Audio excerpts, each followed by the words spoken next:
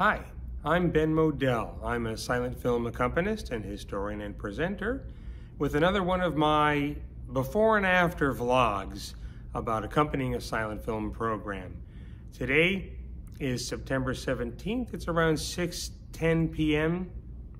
and I'm getting ready for a show that'll be here at 7 o'clock. I've played a 4 o'clock and yesterday I had a triple header a one o'clock, a four o'clock, and a seven o'clock. This is the end of a two-week run of shows I'm I'm playing here. Although the series runs for at least another week, there are a few of us accompanying these programs, and I'm glad to have the work. These shows are a series of rediscovered and restored Edison and Biograph films. And what's going on at seven o'clock? Uh, it's a program of Edison films, uh, a short uh, and then a longer film that's four parts uh, called The Plowshare. I'm actually blanking on the name of the short that precedes it, but that's okay. You can you can look it up. Uh, how have I been preparing? Well, I think one of the things that's informed uh, today's show and tonight's show is everything I've played for over the last two weeks. I've been really immersed in the world of early teens uh, Biograph and Edison films. Um, these are all gorgeous prints or scans from camera negative. Uh, these films uh, shown on a big screen in a really good print at the right speed uh, shows you how good the films really are. And one of the things that I have in mind when I'm watching the films and also accompanying them in terms of choosing the music and what the audience of today is uh, experiencing I'm putting myself in the mindset of people who saw these originally 110 years ago. Um, this is before feature length films when a, a, typical motion picture program would be you know a number of these in a rotation throughout the day uh, the kinds of stories that are being told are very simple one of the things i am keeping in my in my mind is that a lot of the stories and storytelling and plot lines are basic stage melodrama. I'm just trying to remember, think of what people might have already known and expected in terms of uh, accepting the stories and the performances they're seeing on screen. And uh, this prepares me as far as how I, the way in which I take seriously what's in front of me and trying to, uh, acting as a, a cultural bridge, as it were, uh, between the two eras make it work the same way for an audience of today.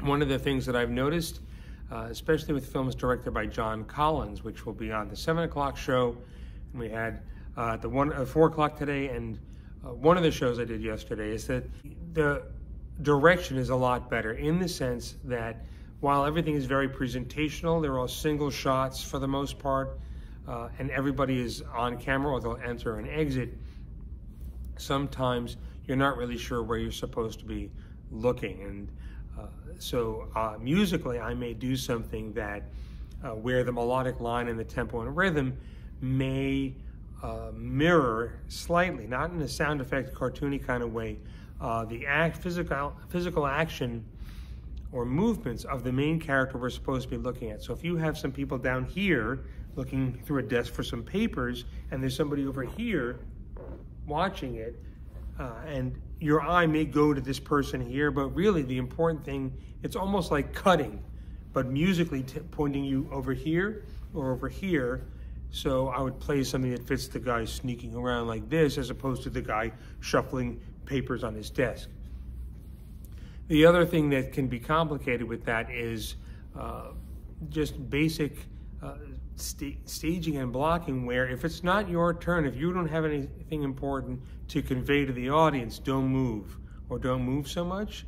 And when, one of the things that I noticed immediately when we went from uh, other Edison directors and Charles Brabin to the John Collins films, everybody knows to take turns.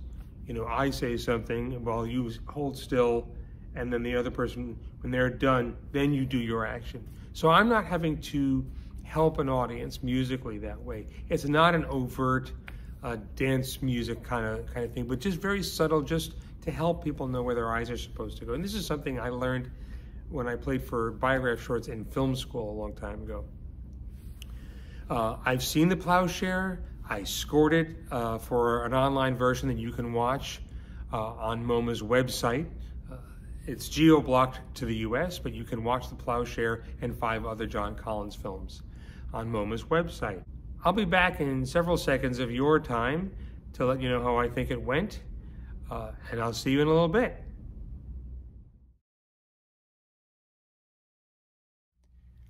Well, that went well. I think it, uh, we didn't have a big crowd. I'm not going to tell you how many people were or weren't here, but a sparse attendance. Uh, Friday night, 7 o'clock at MoMA for some Edison films, and I think the audiences are still uh, getting used to the idea of leaving their house and coming to a film show here. They're uh, starting a matinee series in, I think it's October and November of Tony Curtis films, and that ought to get people back out. Uh, but the audience turnout notwithstanding, um, I played the same. I play the same show whether we have 15 people or 500. Uh, I've been playing uh, in, my living room, which is me and my wife, for such a long time. I've actually gotten really used to it. And in scoring films like The Plowshare and some of the other Edison films for MoMA's website, um, I, I found myself getting into a mode of very feeling a very intimate uh, sense of you know just me and the whoever's watching on their computer at home. Uh, the films are have a very have a lot of uh, the performances are rather subtle, and by holding back and being simple and drawing, trying to find new ways to draw people up and into the the screen to to follow the action. Uh, musically, uh, by by being simple uh, and uh, Oh, I'm trying. I'm, my brain is still spinning after after after, this show. Uh, the Plowshare uh, does take place in uh, the South, the antebellum South, and so I, I, may have imbued some of the music with this very slight Southern uh, flavor uh, um, uh, of, of of the time.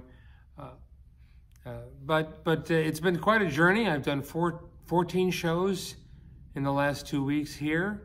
Um, and uh, I hope you've enjoyed these vlogs.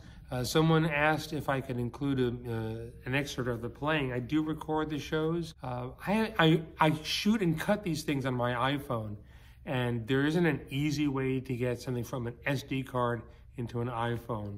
Um, I'll come up with some sort of a workaround, and if you know what the, the trick is, I haven't found it online, I'll let me know. But I'll try to do that for some of the other vlogs you know, in the the, the later port portion that goes between the before and after just to throw some music at you. Anyway, thanks for watching. Thanks for posting comments. It really means a lot to me to know that people like this.